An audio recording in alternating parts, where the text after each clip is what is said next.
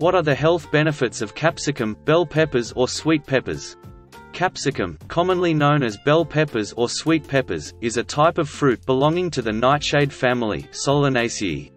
They are available in various colors, including red, green, yellow, and orange. Here are some potential health benefits associated with consuming capsicum. Rich in nutrients. Capsicum is a good source of essential vitamins and minerals, including vitamin C, vitamin A, vitamin B6, folate, and potassium. Antioxidant properties. Capsicum contains antioxidants, such as carotenoids and flavonoids, which can help neutralize free radicals in the body. This may contribute to reducing oxidative stress and inflammation. Immune system support. The high vitamin C content in capsicum plays a crucial role in supporting the immune system, promoting the production of white blood cells and enhancing overall immune function.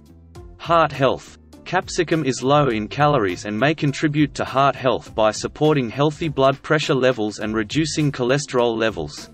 Eye health. The presence of carotenoids, such as lutein and zeaxanthin, in capsicum is beneficial for eye health. These compounds are associated with a reduced risk of age-related macular degeneration.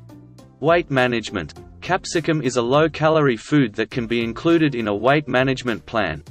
While we are in the middle of the video, do not forget to click the like button and subscribe. Its fiber content may also help promote a feeling of fullness.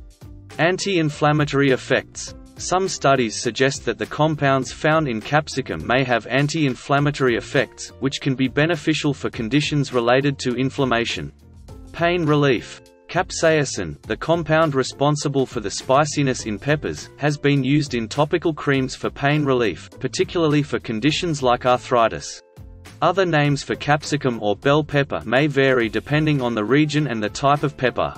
For example, bell peppers, this is a common term used to refer to sweet peppers, particularly when describing the large, bell-shaped varieties. Sweet peppers. Another name used to emphasize the non-hot nature of these peppers, as opposed to spicy or hot peppers. Capsicum annuum. This is the scientific name for the species to which bell peppers belong. Pimiento. In some regions, the term pimiento is used to refer specifically to a sweet, red variety of capsicum. The nutritional content of half a cup approximately 75 grams of raw, chopped, sweet bell peppers can vary slightly based on factors like color and variety. Here is a general approximation of the nutritional values for half a cup of raw bell peppers. Calories, around 19 calories. Carbohydrates, approximately 4.5 grams. Dietary fiber, roughly 1.5 grams. Sugars, about 2.5 grams. Protein, about 0.5 grams.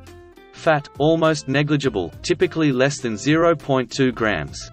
Vitamin C, approximately 95 milligrams, about 158% of the daily recommended intake. Vitamin C may get destroyed if you cook, fry or heat it. So better to use them in salads.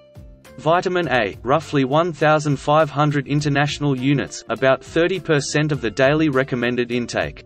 Vitamin B6 pyridoxine, around 0.1 mg about 6% of the daily recommended intake.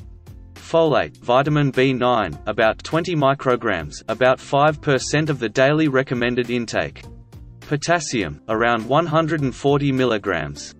Other nutrients, capsicum also provides smaller amounts of vitamins E and K, as well as trace amounts of other minerals. Keep in mind that these values can vary, and the nutrient content may be affected by factors such as the specific variety of bell pepper, ripeness, and growing conditions. Cooking methods can also influence nutrient levels. Additionally, for more accurate information, it's advisable to check specific nutritional labels or databases, especially if you have dietary concerns or restrictions. It's important to note that while capsicum can be a nutritious addition to a balanced diet, individual responses may vary, and moderation is key. If you have specific health concerns or conditions, it's advisable to consult with a healthcare professional for personalized advice. Do not forget to click the like button and subscribe. Thanks very much for watching this video.